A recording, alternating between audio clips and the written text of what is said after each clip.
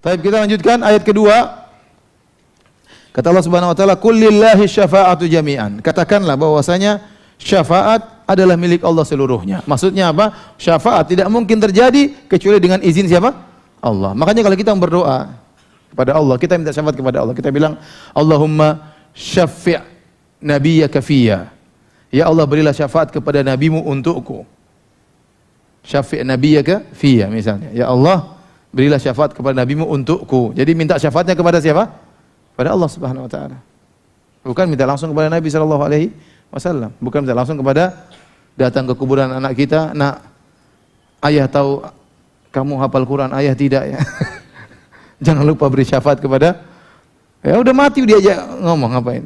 Minta ibu yang enggak boleh minta kepada orang orang mati, minta kepada Allah Subhanahu wa taala.